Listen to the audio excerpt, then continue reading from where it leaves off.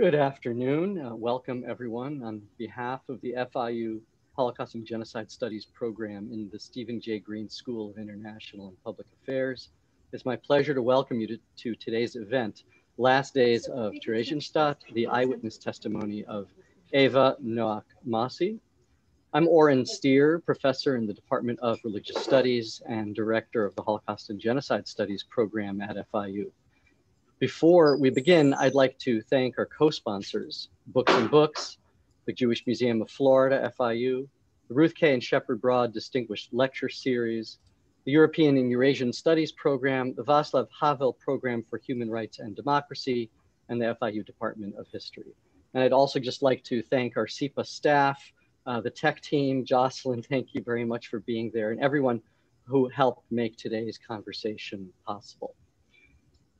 The FIU Holocaust and Genocide Studies program is concerned with offering the university and the broader South Florida community numerous opportunities to study the Holocaust and other cases of genocide and mass violence.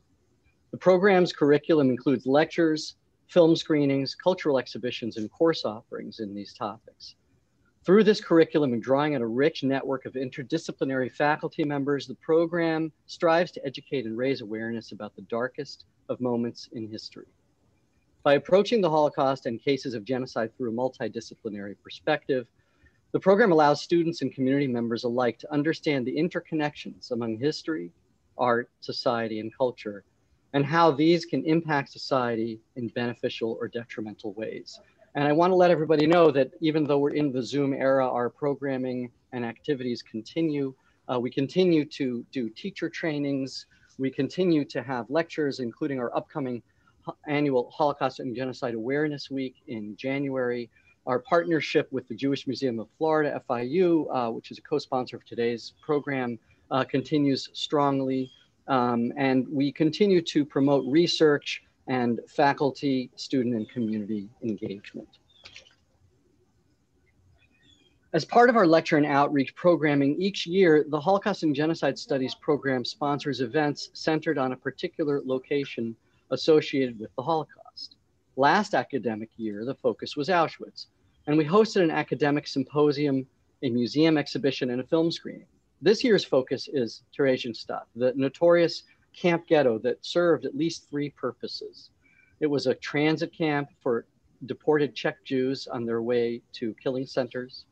It was a ghetto labor camp for German, Austrian, and Czech Jews, many of whom were noted cultural figures. Indeed, the site was known for continued cultural productivity, and it was a holding pen for these Jews. Theresienstadt was also infamous for serving as an elaborately staged hoax for the International Red Cross, who visited in June 1944 and fell for the intricate disguise that presented the camp as something like a retirement spa town. Today's conversation is the first event of what we hope will be a series probing the legacy of Theresienstadt, continuing in the spring semester. And now it's my pleasure to introduce our speaker and moderator. Dr. Skye Doney is the director of the George L. Mosse Program in History. That's at the University of Wisconsin-Madison. He translated, edited, and annotated Eva Noack Mosse's Holocaust memoir, Last Days of Theresienstadt, on which today's conversation is based. His articles have appeared most recently in the Catholic Historical Review and Environment Space Place. Currently, he's completing a manuscript on German Catholic religious practices between the 1830s and the 1930s. Today's conversation will be moderated by Dr. Terence Peterson, who's an assistant professor in the Department of History at FIU, a former Mosse Fellow at UW-Madison, and a member of our Holocaust and Genocide Studies Program Coordinating Committee. He's published articles in the Journal of Contemporary History and French Politics, Culture and Society, as well as popular outlets like War on the Rocks.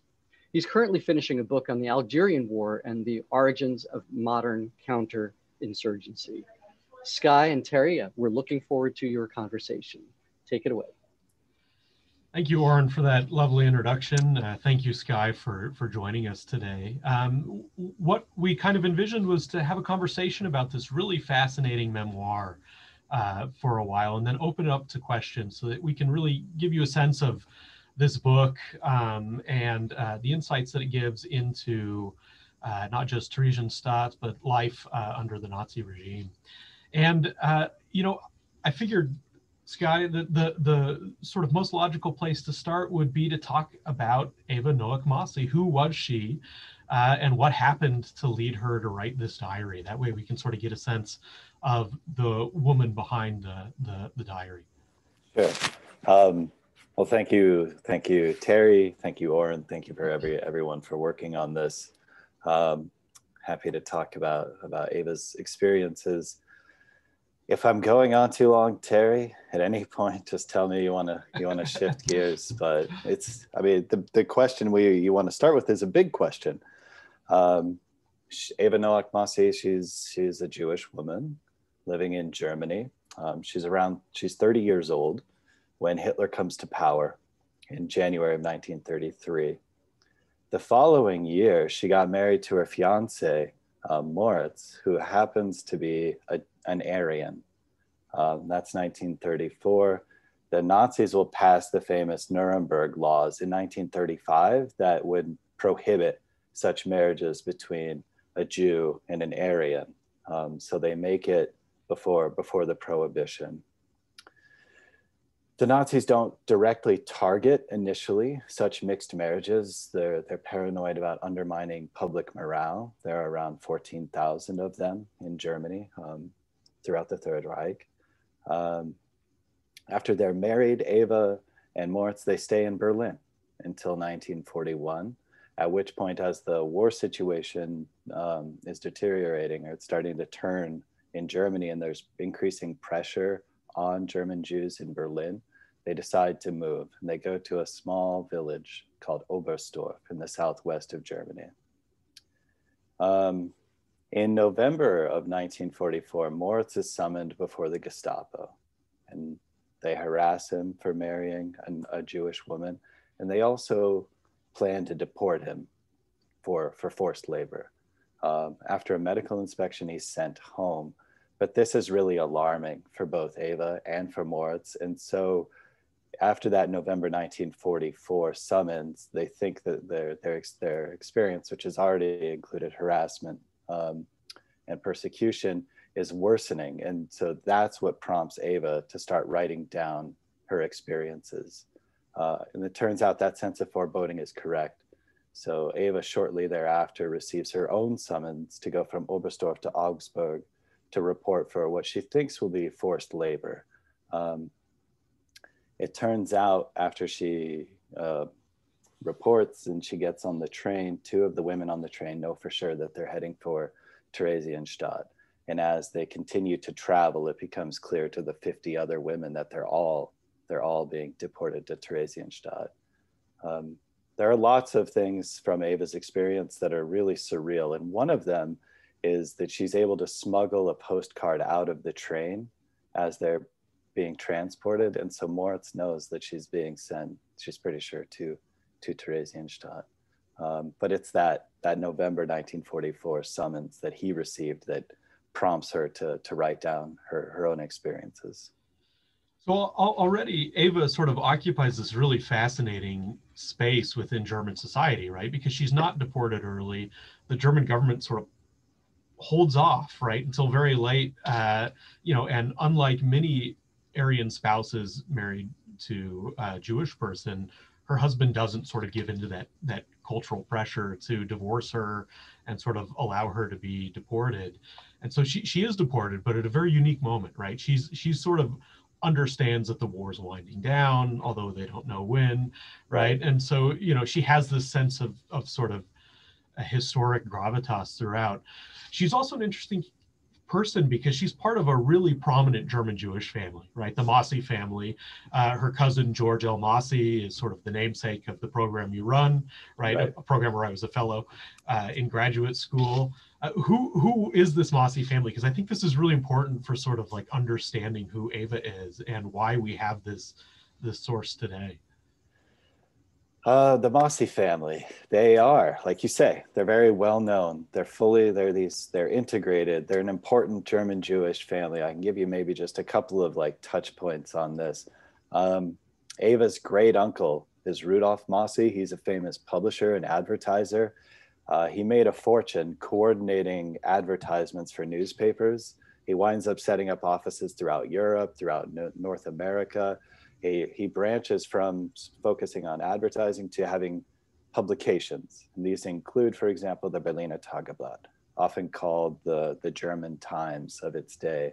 Uh, this is a voice for German liberalism throughout the, the Weimar Republic. He and his wife, Amelia, have many philanthropic um, projects. They set up orphanages, they set up shelters, they set up um, schools um, to, throughout, throughout Germany. Um, another one of Eva's great uncles, Albert Mosse, helps draft the, the Japanese constitution. Um, her own father, Max, is, is, a, is a very well-known physician. He publishes extensively on physiology, on, on microbiology, um, and her mother's family, the Labands, are similarly prominent. Her, her uncle, for example, Paul Laband, is a very famous legal scholar working out of the University of Strasbourg that helps draft a lot of the, the German legal code. Um, at the end of the diary, you can read correspondence, as you mentioned, between Ava and George. George. Mosse is a very well-known uh, historian, um, an emigre historian who teaches at Iowa and teaches at the University of Wisconsin-Madison, um, publishes over a dozen books. So in short, the Mossys are, they're a very well-known, uh, uh, prominent, a very visible uh, family within, within Germany. Yeah, and a and a target uh, uh, family that the Nazi regime targets, right? I mean, That's the Berliner right. Tageblatt. It's a big paper that, that puts a big sort of target on the Mosse family, you know, and as a result, uh, you know, under the National Socialist regime, they see a lot of their wealth expropriated. Mm-hmm. Uh, you know, there's still, we can get into the nitty gritty of that later if people are interested, but there's still an effort to recover some of the Mosse family's art, uh, you know, that's Aryanized and then sold. Right. Uh, her cousin George manages to escape through Switzerland to the United States, and that's part of the reason why why we have this diary. Right, members of the right. Mosse family remain sort of uh, important intellectual figures. Um, and, and Ava's diary is an interesting source, right? Because she writes it in this moment, in this very sort of unique moment at the end of the war. Uh, she also fact checks it and adds commentary later. And so I, I want to talk a little bit about this source, right? Where do we, obviously she's writing it at the time, uh, but where do we get this diary? How do we get from that diary to this uh, lovely published edition from, from the uh, University of Wisconsin Press, right? How, how do we get this source? Well, um, it's, it's an interesting story, like you say. Um, maybe I should just quickly touch on it's both it's both a diary in one mm-hmm. sense but it's also in another sense a memoir which professor mark roseman talks about in his foreword and i talk about in my introduction.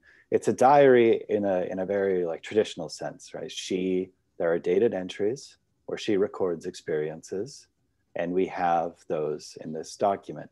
But then she also after the war goes back and corroborates or expands on different points.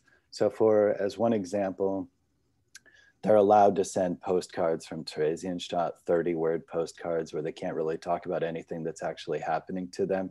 She hmm. sent, she tries to send many of those and only the very first one actually gets back to Oberstdorf. And so she includes that and only one of these postcards makes it back, right? Which she wouldn't learn about until after the war. Um, so while editing the document, what we tried to do is offset in italics these asides that where she, she gestures toward, toward future knowledge. How did the diary come about? Well, she's got, she starts writing even before she's asked to report to the Gestapo in Augsburg.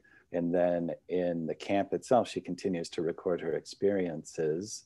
Um, she takes this with her home to Oberstdorf at the end of the war. She survives and um, after i'm trying to think if we want to like get into what she's doing in the camp yet or if you want to just talk about the the document itself but Yeah, after, let's we'll we'll get to that in a second because that's really interesting, right? And it's a whole separate thing. But but let's talk about where how we actually get this because I think that's really fascinating too. So she has this. So at the end of the war, she has the document. She's made a few changes, and she starts to circulate it first among Mm-hmm. friends, and then eventually in 1951, George L.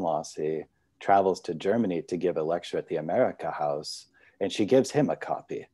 And then what follows is roughly 25 years of them corresponding about off and on about about the document. And ava asks him a couple of times for help like where should i donate the diary? Or how do i get it published? Or maybe we could do a translation. Uh, that never it's never it was never published but it was used extensively by researchers. Um, who, who have worked on Theresienstadt. Uh, John Tortorice, the director emeritus of the Mosse program, who I hope is here among the attendees, had the idea to bring out bring out a translation. Um, and so then the program undertook undertook the project. Um, it's it's one of these texts that sort of shows up in footnotes, right? You know, and it's there, but it's but it's not published, right? And so lots of scholars talk about it. This is Yeah. really the first time that the general public can sort of look at this source, except for when George Mosse was lecturing his Right. courses on history, and you know, really used it very heavily to talk about life uh, in Theresienstadt. Yeah, in 19, so for example, in 1971, Mosse gave the this first lecture series, this course on the history of European um, Jews at the University of Wisconsin Madison, and those recordings. He's when he starts to talk about what happens to German Jews between 1933 and 1945, you can really tell that he's drawing from from from Ava's experiences because he talks a lot about mixed couples and sort of these exceptions. So. So you you mentioned a little bit sort of what Ava is doing while she's in Theresienstadt. Uh, and, and I want to pick back up on that because it's really fascinating, right? Because, you know, th- this isn't just sort of a diary of, of what Ava's doing day to day, although a lot of that shows up in it, right? Because surviving in the tough conditions of the camp requires a lot of work on a daily basis. And so she works, uh, you know, sort of very hard in the diary as well to, to recount all of the steps she has to sort of go through. But she occupies a really interesting place within the camp in terms of the work that she's asked to do. And so it makes this diary uh, an interesting source for a lot of reasons. Do, do you want to talk a little bit about what she's doing and Sure. how that shows up in here? Um, well, so we, we when we were talking about this relationship of the diary to the memoir, which one is it? Um, sort of hard to parse out. That tension is partly due to the fact that when Ava arrives in Theresienstadt, um, by the way, the diary is littered with these really interesting, um, intimate moments. So when she arrives, one of the women that she's she's befriended on the train, Ilsa, looks at her and says, "We will never leave this place alive." Um, after she's processed, it's called the sluice. You know, her hair is shorn, her property is taken, um, and she's deloused, etc., and put and turned over to the general camp population. She is a typist and a journalist, and so she's put in this office called Central Evidence, Central Evidence, and the whole point of Central Evidence is to type up lists and identity cards. Um, lists uh, they make all these lists. They're largely trying to guess it turns out what the nazis want. So they they organize for example inmates based on where have they arrived from. They organize them based on where what nationality are they when did they arrive when were they deported east etc because they never know when the ss is going to come into the office and demand information organized in a certain way um, but while working in Zentral Evidence, she has access to all of this statistical information. And that is, is, is really important to her. She wants to make sure that that information is preserved. Um, the, the day-to-day work itself, we can talk about statistics later, but the day-to-day work itself, she has to report to work at 7.30 a.m. She's done at seven o'clock at night. Um, this position though gives her access to paper and so she's able to to continue to record what happens to her um, and here I might make just a quick aside as to why we undertook the translation. I mean, John had the idea yeah. to do so, uh, but I think it's, we published it. Uh, one of the real motivators for this was that it's clear in that correspondence with Mosse that she really wanted her voice added to, to the chorus mm-hmm. of voices that was, that was testifying about the crimes of the Holocaust and she she has this sense that what she found in Zentrale Evidenz and her experiences are unique, and I that's absolutely true. Um, you guys are going to have some other events on Theresienstadt that look more at the cultural life. Well, by the time Eva arrives in February 1945, that sort of heyday of lectures by Rabbi Leo Baeck and lectures by people who were in the Prague Circle or who knew the Kafka family uh, has largely diminished because the camp has been so depopulated from a height of around 62,000 people to around 17,000 when, when she arrives. Um, so it's unique not only because she, she arrives after many of the people who will uh, write, write diaries or record their experiences have been sent elsewhere, people like Philipp Manes or um, Gonda Uh, and it's also unique because she continues to record after the war ends. So we learn, or we get this first, this like ground, this this this this view of of the SS fleeing, of the International Red Cross arriving, of the Russian army arriving, and just this interesting continuity of camp life because she still needs to work in Zentrale Evidenz even after um, after the liberation to help coordinate and to organize information. Um, yeah, the diary really offers this fascinating uh, coda to what we usually think of about when we think about Theresienstadt. You know, when we think about this cultural life and this foment and this, you know, this very crowded camp uh, full of people trying to survive who are then deported. You know, Ava's there really after that, uh, and and you know, the fact that her memoir does stretch out to the period after the camp's over, you know, after Nazi rule of the camp is over, right? A single man from the International Red Cross sort of comes up to comes in to run the camp, uh, you know, and maybe potentially saves. Uh, it's it's you know the people inside yeah by declaring that it's under the protection of the red cross yeah and then the soviets arrive and she continues to essentially do the same work every day. Food gets a little bit better. They're really dealing with this major outbreak of typhus and so conditions are still very harsh. It's an it's a it's a, very different portrait from the one that we often get right? And i think is helpful in sort of grounding that. I mean, the, the other part of her account that you t- that you touch on with the statistics is that, you know, she seems very concerned with sort of proving that despite this survival on the part of the the, the Jews who are interned in Theresienstadt, you know, this cultural life they try to foster in the midst of these difficult conditions. She seems really intent to prove that it is really difficult, right? I was struck by one entry where she lists these Red Cross aid packages that have been received, right? She's got sort of the the receipt uh, to, to receive these and she's listing all the meat and the cheese yeah. and the milk powder and everything and it's sandwiched in between these accounts of how she's eating thin soup with maybe a bit of potato and their hard dark bread ration that is supposed to be stretched out you know over the course of two days. Uh, and so you really get a, there's a striking sort of intentionality behind a lot of what she's choosing to include. Uh, you know, you, you get a sense that she wants to make a document that will attest to uh, the very difficult conditions that she and, and other other people are subjected to in this camp. Yeah, that's all. Yeah, true. And she also she's also witnessing efforts to cover up evidence. So, for example, in the, in April, while she's there, the SS start burning identity cards of everyone who has been sent east Mm-hmm. Um, I mean, there are, over the course of its life in Theresienstadt, at least 90,000 people are sent from the, the camp itself elsewhere. And of those, 3,000 or less survive.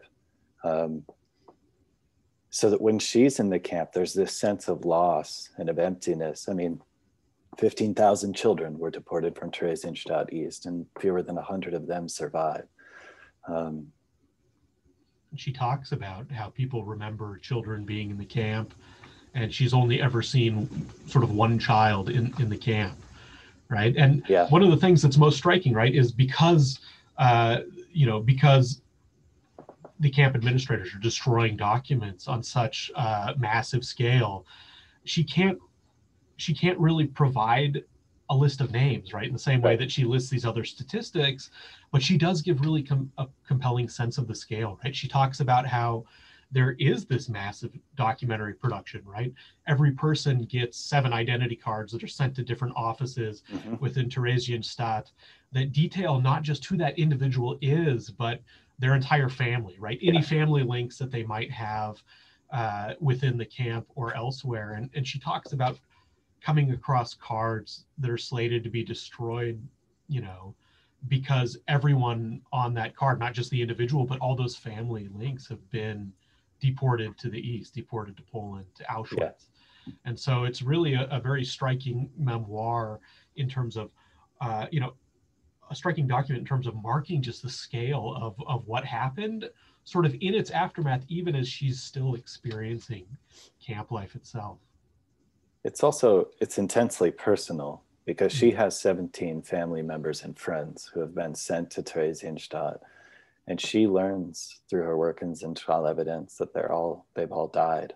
They've either been sent east or they died in Theresienstadt waiting to be sent east.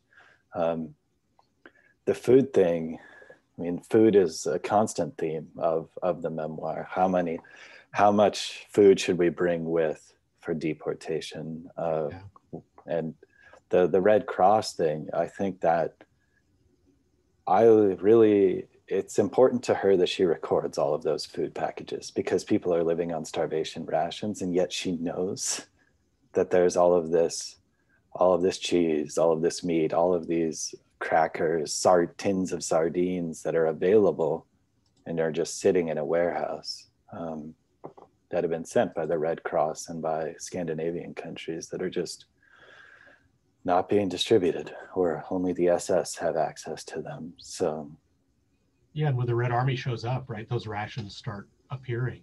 Yeah. By, by the way, I want to just, as an aside, I want to mention to members of the audience, you can post questions in the Q&A at any time, right? Where uh, we want to leave time to answer those questions. And as we sort of work our way uh, through the book, you know, feel free to, uh, to leave them and, and we'll definitely uh, get to them. Uh, you know, one thing you, you mentioned, it's a very personal account, right? And, uh, you know, this sort of the shadow of her family being in the camp is an interesting aspect, right? She comes across Martha Mosse, uh, who she's able to, you know, who's a member of her family. It's her aunt, right? And and she's able to sort of connect with Martha. And they, I think they work in the same office. Is is that correct? Because Martha is one of the first police prosecutors in in Berlin, female no, Martha's not not in in central evidence. Um, okay. But. but she but she sort of, you know, there there is this sort of semblance of uh, life at the same time as there is this, you know, sort of enormous loss where where she's reconnecting with people that she once knew uh, knew before, and uh, it's it's interesting to me to see in in this memoir the sort of the importance of community yeah. right? The importance of, of always having she says you know everybody has somebody in some important place who looks out for them you know and that's really striking here. So even though it's Theresienstadt at a moment when it's been emptied out right and conditions are still really difficult you really get a sense here that there is a community of people that are supporting each other um, you know and really making life in this camp uh, tolerable yeah, um, the community is essential. She's assigned to a room with 16 other women initially, and they, they share whatever books that they've brought with them. Um, you, you also touched a little bit about, you know, what we talked about what makes this unique and how the camp life is a bit different. I think I could maybe make a couple more points on that. Um, not only does she arrive towards the end of the war and there's this tension between the diary and the, the memoir, but what I think one of the things that this gives us that's really unique is you get both these like really micro interactions coupled with a macro perspective. So micro, like as she she calls Moritz from Augsburg to tell him that she's about to get on the train and he can't really say anything besides may may God protect you. You get micro like um, how much does it cost to take a bath um, yeah. with this fake camp money? You get micro things like she brings in perfume to work after she finally gets her luggage, and this just seems to make everyone's day because it's fabulous this moment, sense right? of normalcy or yeah. a pre-war life that that they think they, the not the SS couldn't take that away, right? So they they have that. Mm-hmm. Um, but it's coupled also then with this real all of these passages that I think are really moving because it's so weird for her having had having been with her her husband right up until almost the end of the war to then be put into this context. So she talks about like walking along the walls of the fortress of Theresienstadt and she can look down and see the Holocaust unfolding in the camp with starvation and death and disease. But she can also look out into the countryside and it's like this weird she writes about like quote the perfection of nature and the imperfection of man um, but that's coupled with macro, like the overall war. Where where's the U.S. Army at this point? Where are the British? Where how far have the Russians made it into Berlin?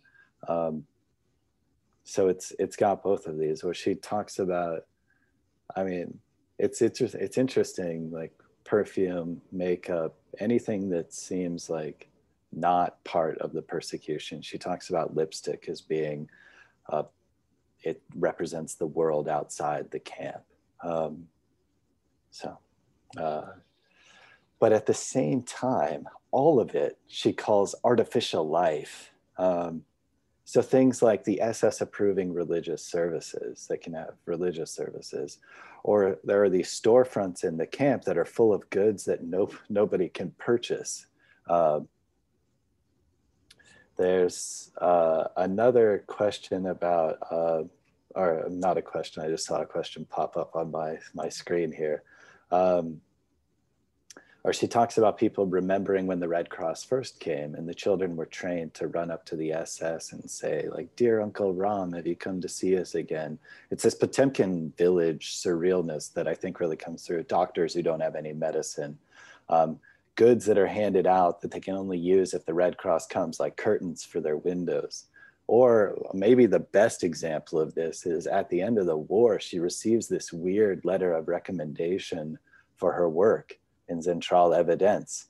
Like Eva Noack Mosse was employed, employed. It's is slave labor. It's not, it's not, it's not yeah, at signed, will employment.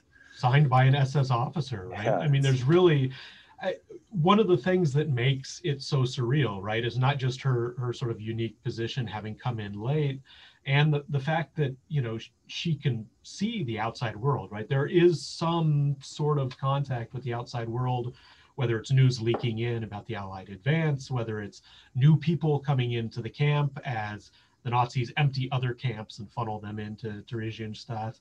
Uh, you know, but at the same time, you've got the reality of camp life, and then you've got this sort of faux Potemkin camp life, right? You know, she draws that connection herself because, of course, they all know about Potemkin villages from from the interwar press, right? So, yeah. so, and because she's a journalist, right? She writes really sort of both poetically and incisively, critically about this sort of strange, uh, you know, you put it with by saying surreal, right? This surreal sort of uh, layered reality of of the camp, right? That moment where she is is looking out, uh, standing on the camp walls is really poetic and, and sort of heartbreaking in a way.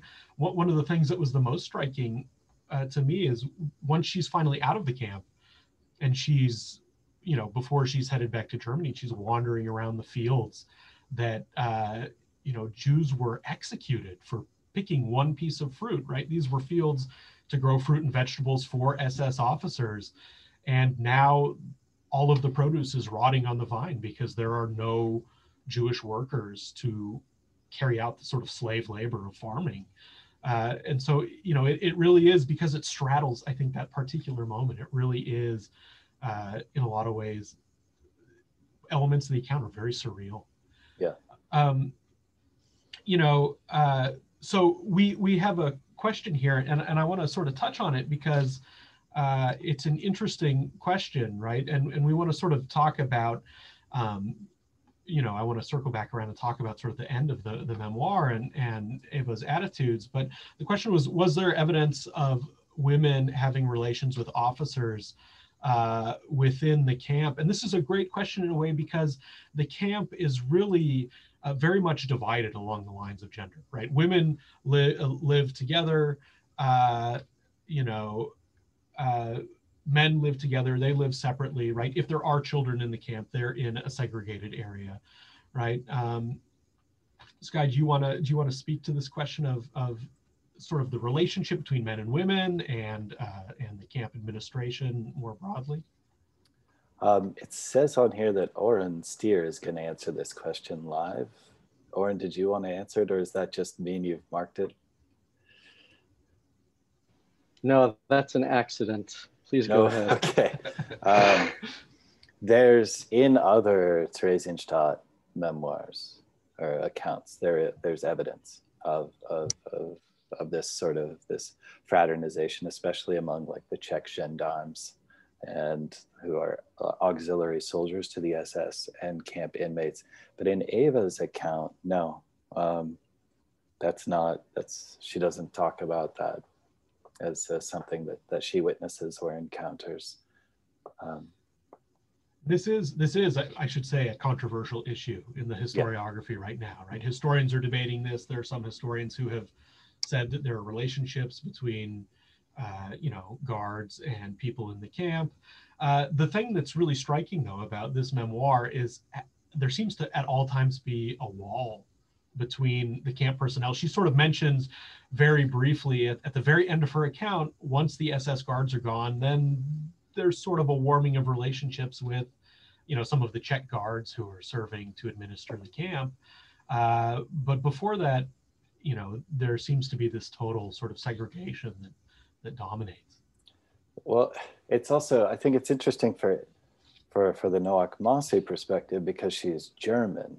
Mm-hmm. So there's an attitude, I mean, from the very beginning of Theresienstadt of the Germans as lumping together Nazis and the victims of Nazis as just those those people.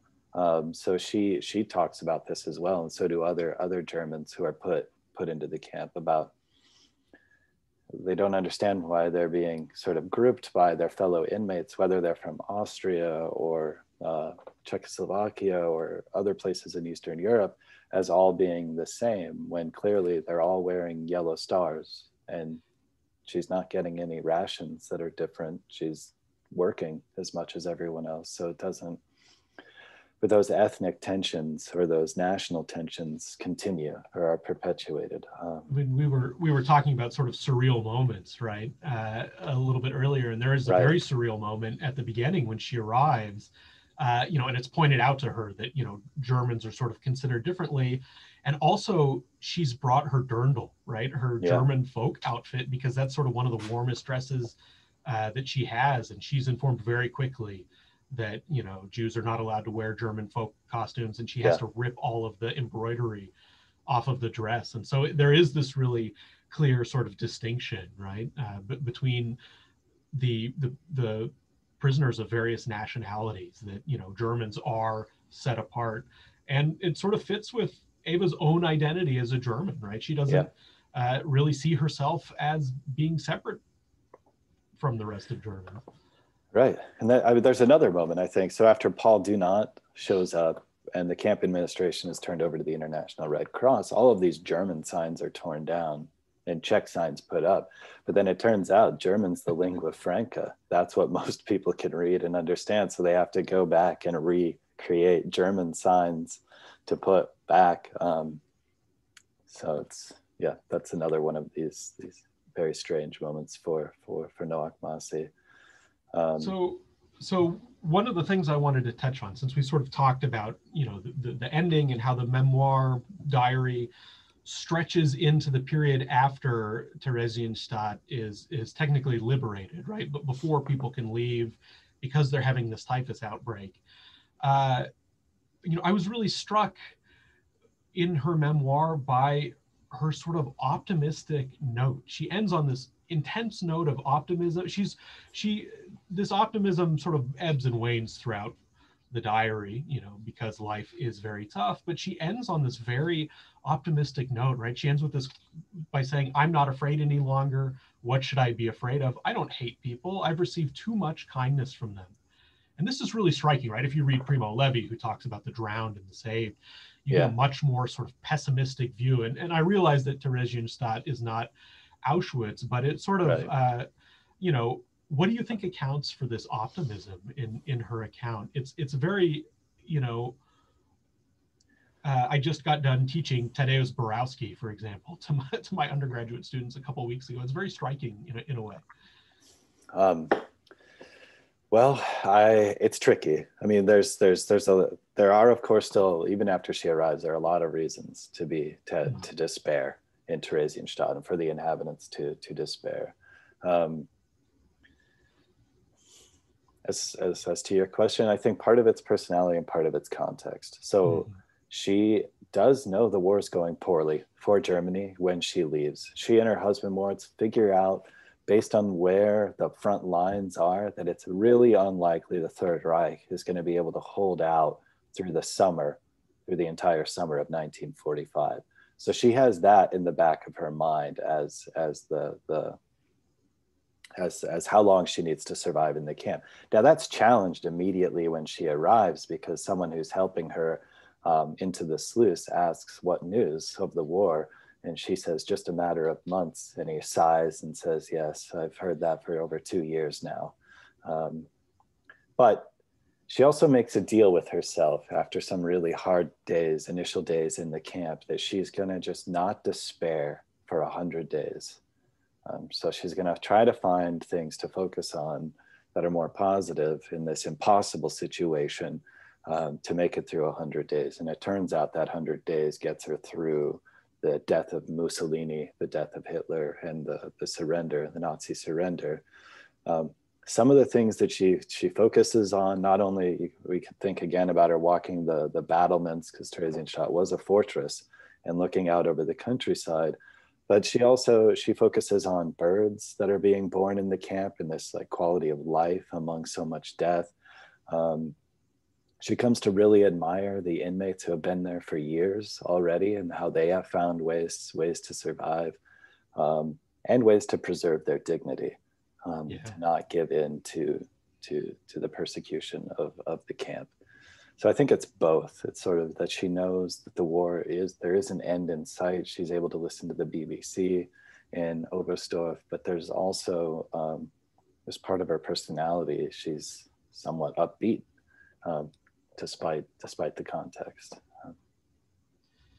Yeah, it's really uh, it's you know it's it's an interesting account because by all means she spends you know a lot of time sort of collecting evidence of persecution, collecting evidence of of the crimes that are being perpetrated, but also really you know drives home this sort of sense of survivorship, this sort of sense of of community survival, of maintaining not just your life, even though that's a statistical minority, right?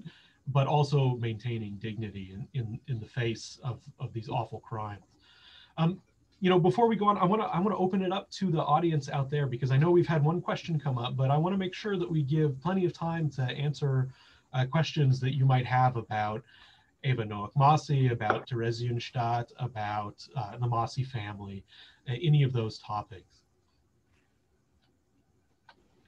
I think also while we're waiting for maybe some questions to come in, I thought I might uh, jump back in and ask one Please of my do. own, if that's okay. I, I, ha I, have a whole bunch, but the first one that comes to mind, just thinking about that image of Ava walking along the battlements, one of the controversial issues when we look at uh, survivor memoirs and testimonies is there this this complicated status of, of so-called privileged prisoners, right? Those who had certain kinds of protectia, a certain kind of uh, access that, that not, not all prisoners had.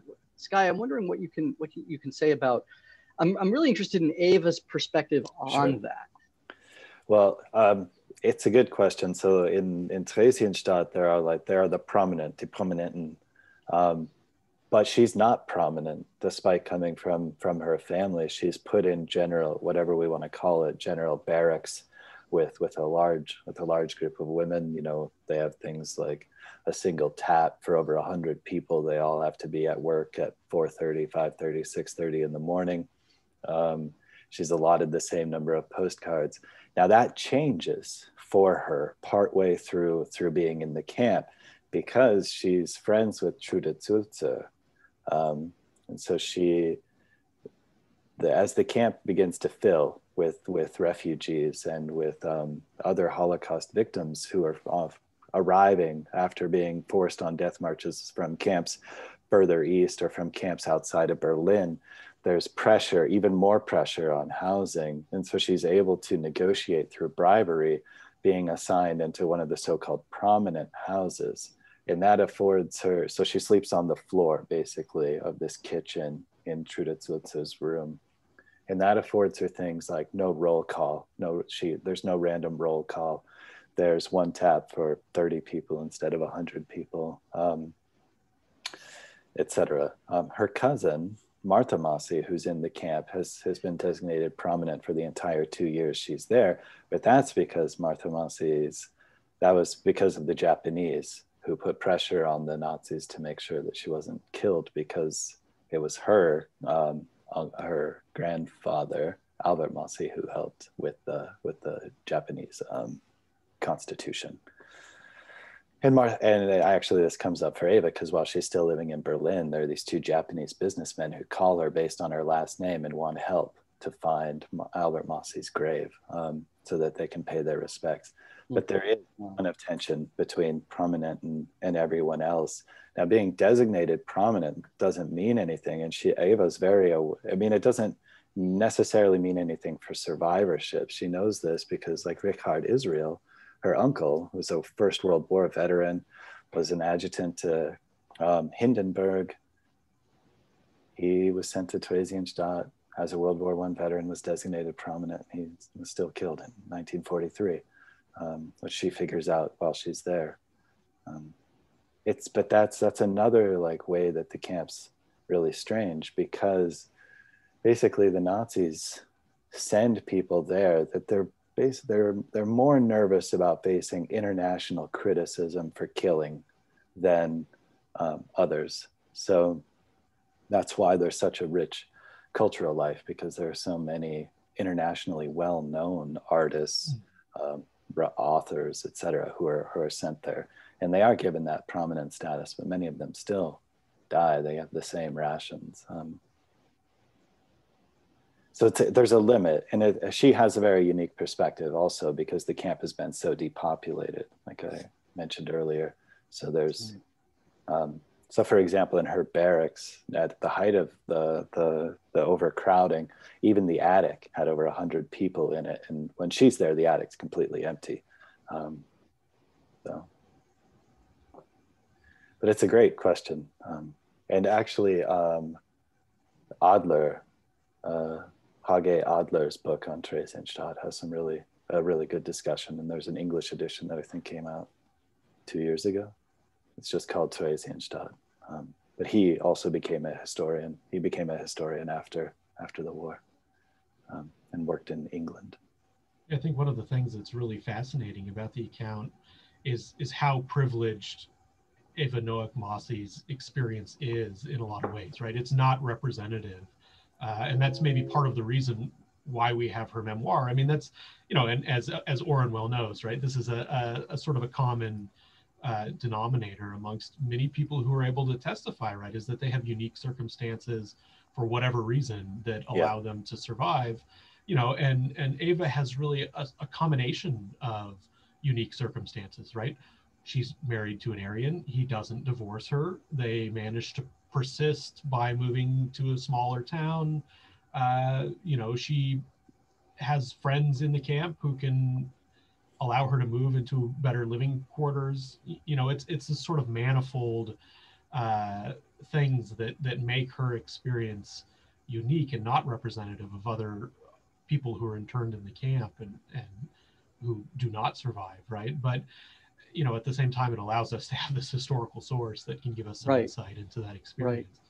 You know, I wanted to actually ask Skye if you could get back to that issue of the source, the nature of the source itself, and particularly the act of translating it. You know, it's so fascinating because a lot of people, I think, um, just sort of naturally assume that a, a diary is kind of written in the moment and, and is not necessarily edited afterwards.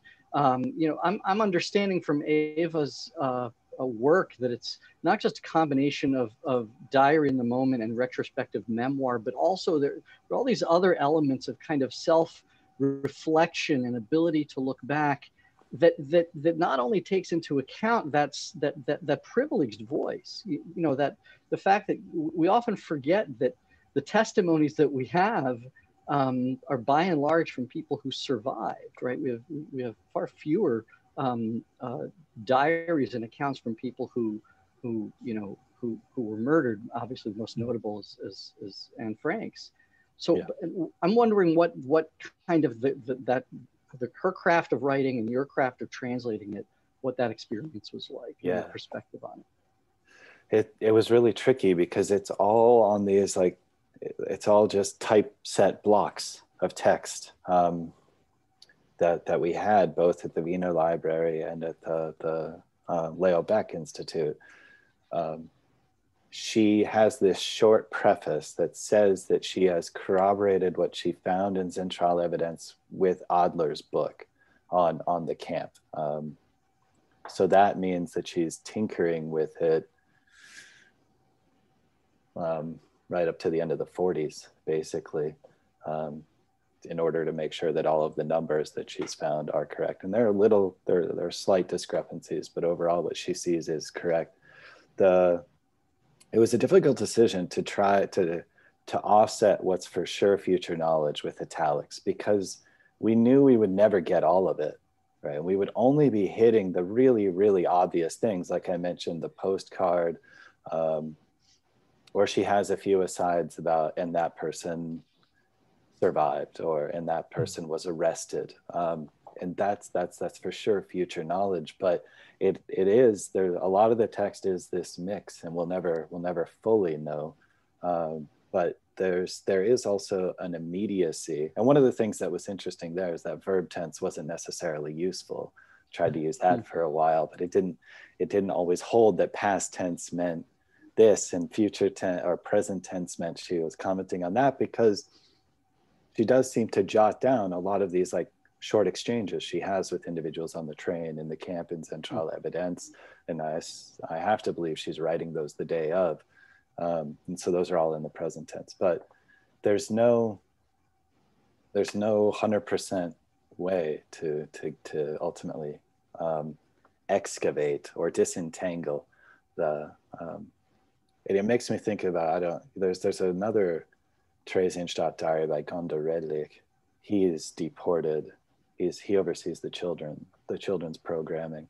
He's deported and killed. Um, and his is found, his diary is found in an attic much later, and that's very present, but it's also very short. Like there's these really short daily entries. Um, so it's a different kind of source. But you are both right. It's rare. I mean, it is a privileged thing to have survived, um, and it's a privileged position uh, to be sitting in Oberstdorf uh, and then in Munich after the war and to be thinking back on, on the experiences. She's really frustrated after the war um, not to drift because she she wants to get it published, but there's no public appetite in Germany to hear from. She calls them these lame ducks in Germany who want to pretend nothing happened, and so she only gets like she publishes different pieces in like Die Tat about the diet. Like this was a little bit of my experience. Um, uh, we have another question here. Yeah, and actually, we have a, a great question from Chad Gibbs who says, I'm curious about where you all see Noack Mosse diary memoir as educators. Would you assign it in a Holocaust course as a primary reading? And if so, what aspect of Holocaust history would you want students to take from Ava's writing? Um, you know, and actually, this is one of the first things I thought of as I read the memoir. Uh, you know, and I don't want to go on at length because I want to give, you know, Skye a chance to respond and, and Oren as well.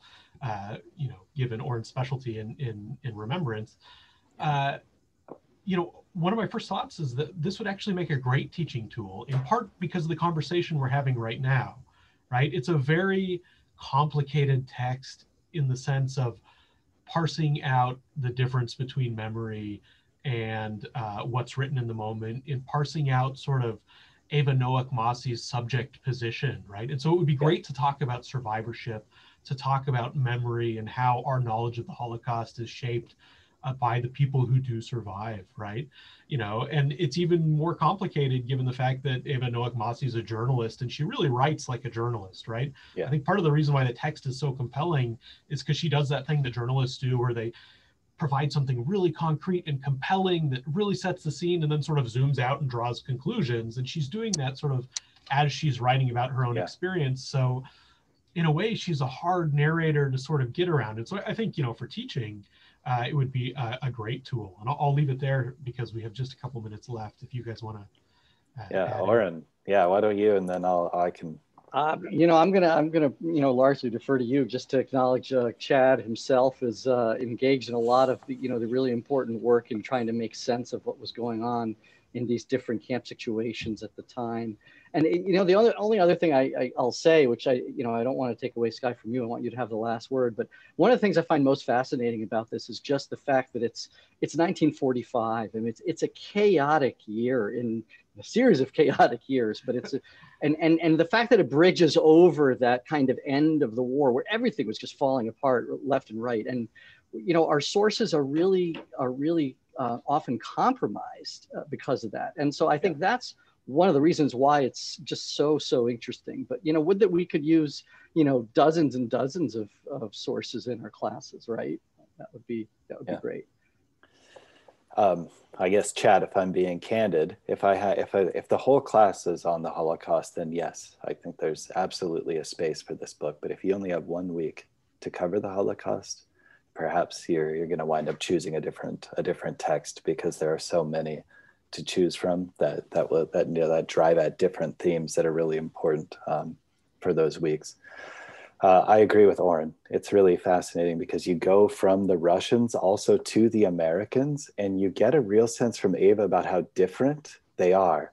From the Russian commandant, who's really rigid uh, but very professional, to the American soldiers playing with oranges while they're like directing traffic in this broken down infrastructure landscape. And that I think is really interesting.